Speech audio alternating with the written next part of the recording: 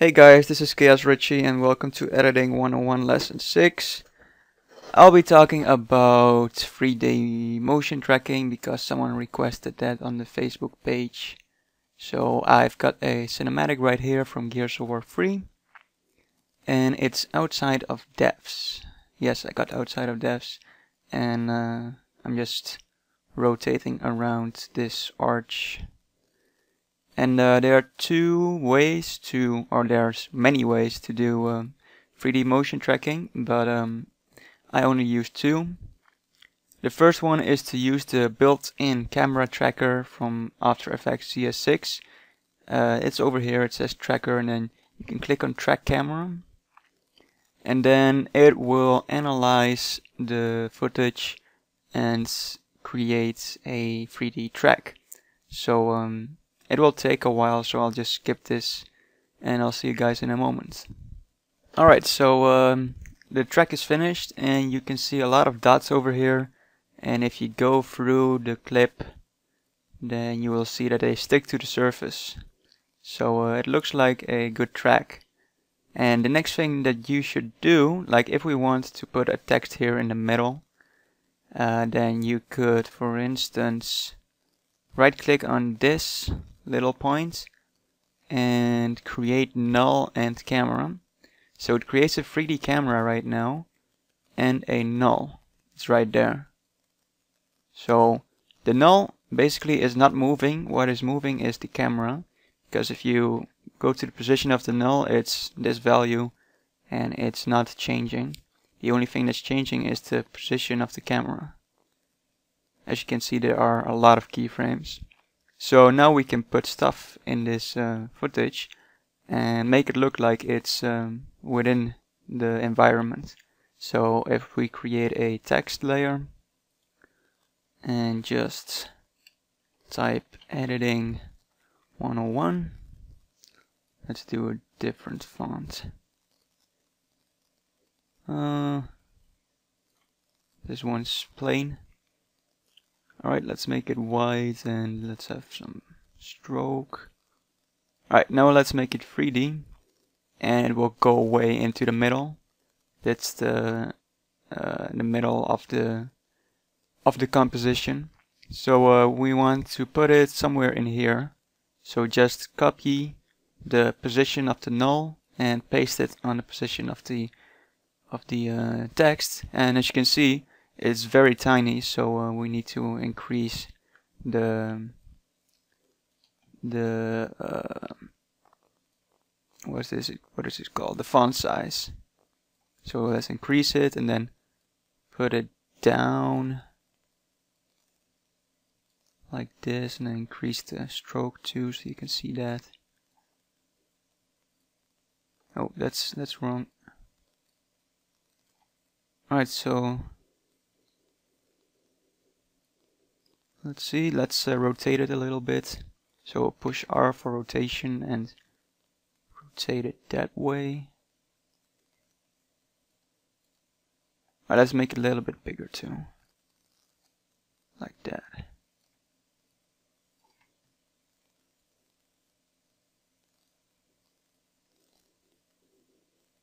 Yeah, and as you can see, it's tracked and um, it's um, the only difficult thing about this is to get to the point where you want it to be because you cannot really see it. Uh, what you could do is um, make multiple um, multiple nulls, like you know where it is. Like make one here.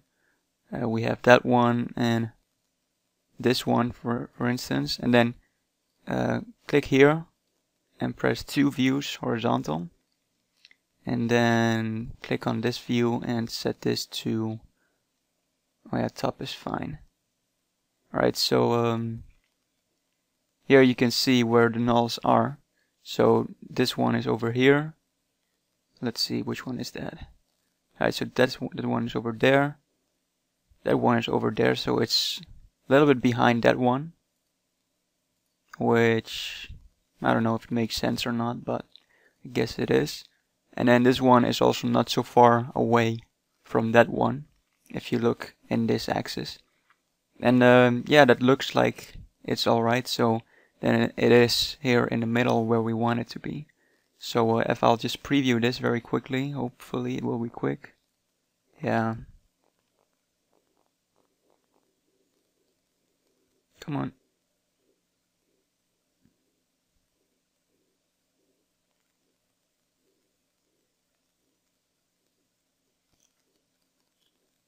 Alright, I'll just stop it over here.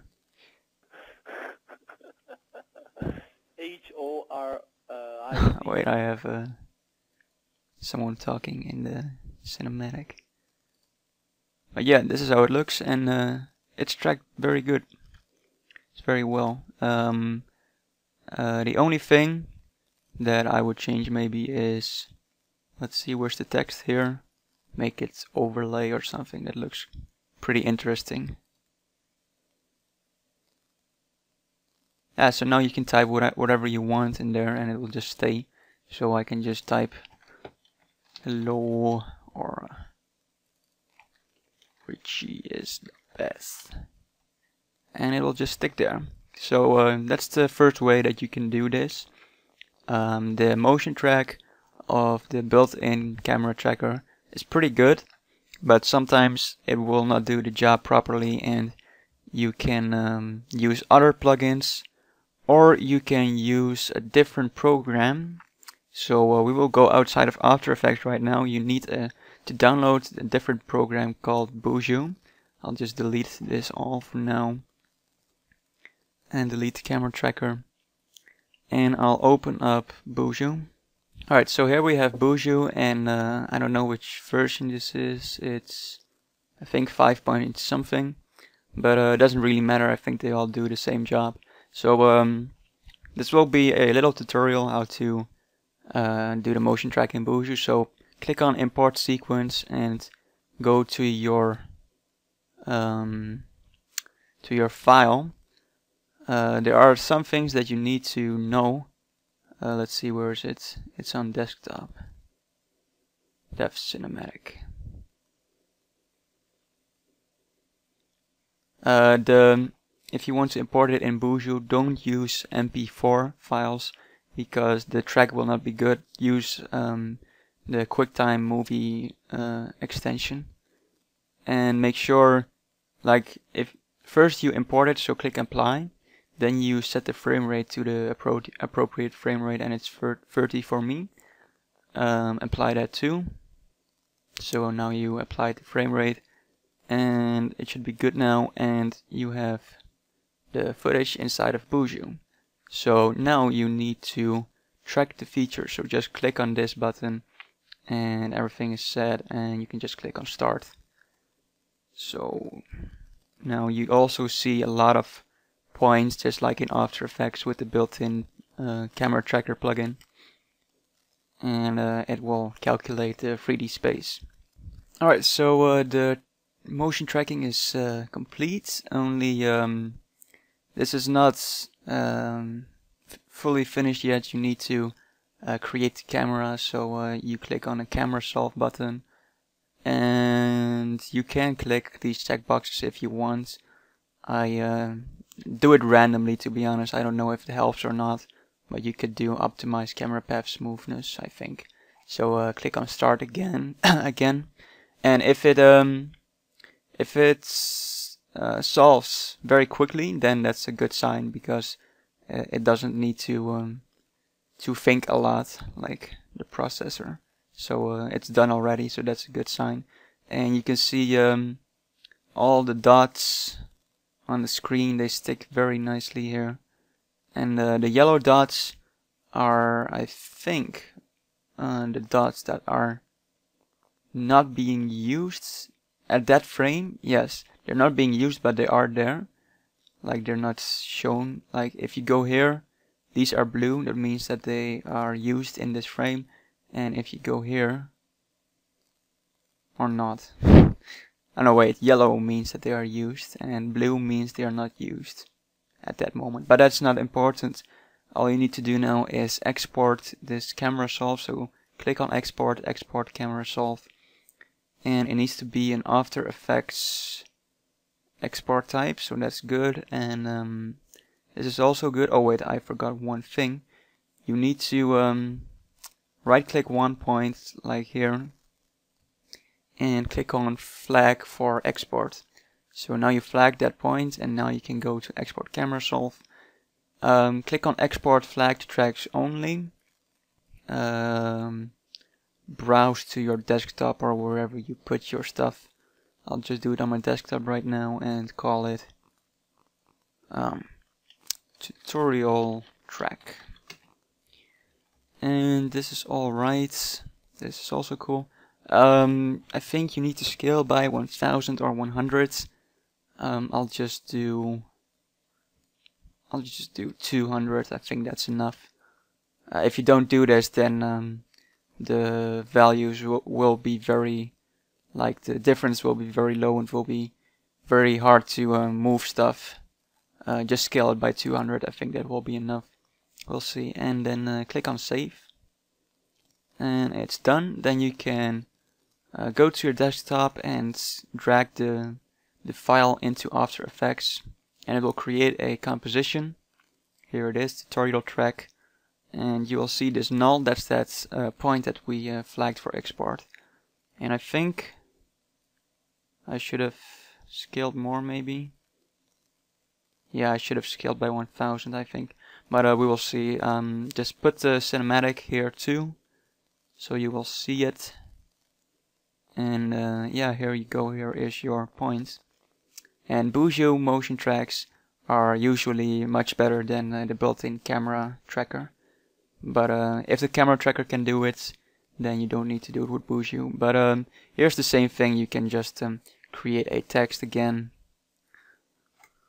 hi and make it 3D copy the position oh this one is way bigger right now. That's because I didn't scale it enough, I think, or I scaled it too much.